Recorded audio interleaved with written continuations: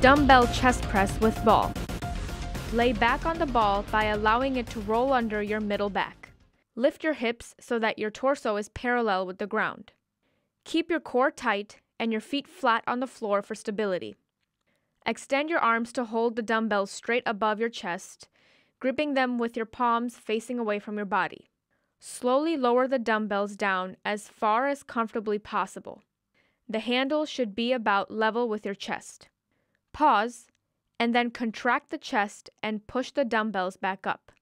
For a variation of this exercise, target your chest muscles from a different angle.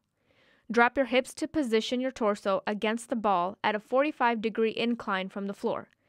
Repeat as you would the flat press, targeting your upper chest muscles by keeping your torso at a 45 degree angle. The ball also introduces stability, forcing your core to engage while performing the exercise. Once you have finished the set, do not drop the dumbbells. Twist the dumbbells around to neutral, palms facing each other, and rest them against your chest. Roll back on the ball into a seated position, resting the dumbbells on your knees.